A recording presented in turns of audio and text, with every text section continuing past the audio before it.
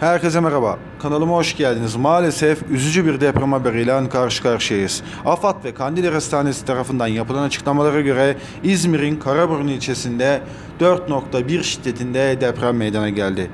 Depremin derinliği 7.3 kilometre derinlikte gerçekleştiği açıklanırken deprem saati olaraktan 9'u 50 geçe sabah saatlerinde gerçekleştiği ifade edildi. AFAD ve Kandilli Hastanesi tarafından yapılan açıklamalarda.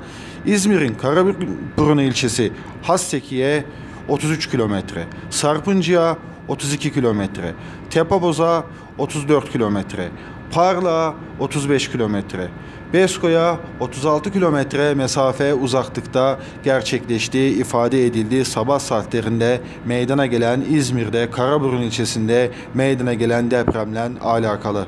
Buradan İzmir'e, Karaburun'a, hisseden bütün köylerine çok çok geçmiş olsun dileklerimizi iletiyoruz. Konuyla alakalı yorumlar sizin. Sonraki videolarda görüşmek dileğiyle. Şimdilik hoşçakalın.